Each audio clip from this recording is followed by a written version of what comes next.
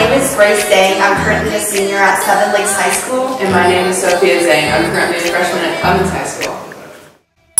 어떻게 하면 더 연약해 정조해 보일까 안 꾸민 듯 꾸며보곤 해 Growing up, a lot of my own childhood memories consisted of utilizing art as that form of creative expression. I remember back in preschool when I barely knew any English, I would just sit in the corner of the room and draw by myself because that was something that really allowed me to feel at peace.